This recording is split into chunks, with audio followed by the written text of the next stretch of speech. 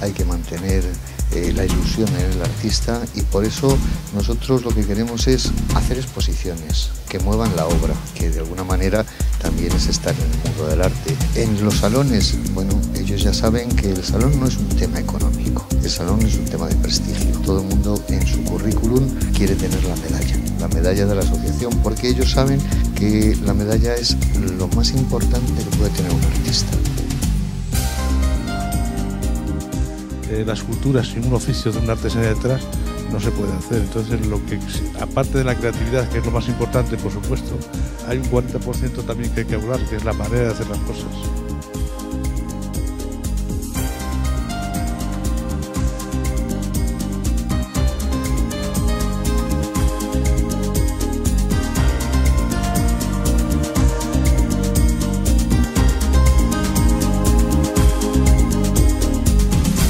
Hablar de Salón de Otoño es hablar de calidad y es hablar de un montón de artistas que siendo noveles se presentaron al certamen, que han llegado a ser consagrados y que hoy en día son reconocidos por toda la comunidad artística.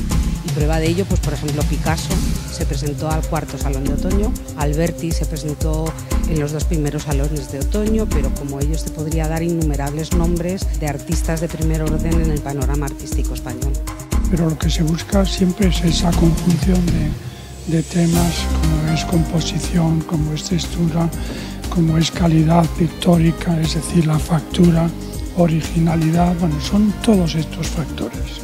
Una pieza tiene que tener atractivo, ¿en qué consiste ese atractivo? Pues también depende de nuestra formación, de nuestra sensibilidad y de qué forma conectamos con el arte, ¿no? Hay a quien la escultura no le gusta, a quien le gusta más la pintura, hay a quien le gusta la figuración, a quien le gusta el realismo. Siempre que una obra tiene presencia, que está hecho por alguien que tiene una ambición de comunicar algo, eh, yo creo que esa pieza siempre llama la atención y, tiene una mirada especial de quien, de quien la observa.